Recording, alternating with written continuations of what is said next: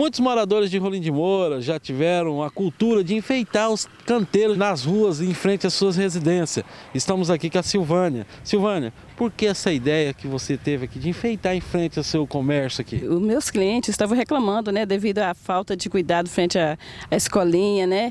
E muitos ca... até caíram também, né? O meu cliente foi atravessar ali com o aluno, ele caiu.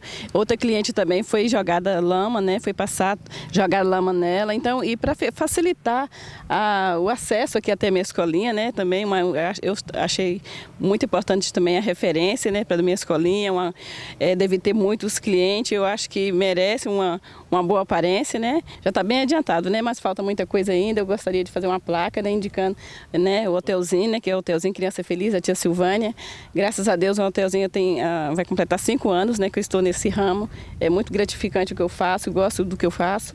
E eu estou querendo colocar uma placa aqui, né? Hotelzinho Criança Feliz e enfeitar mais algumas coisinhas aqui.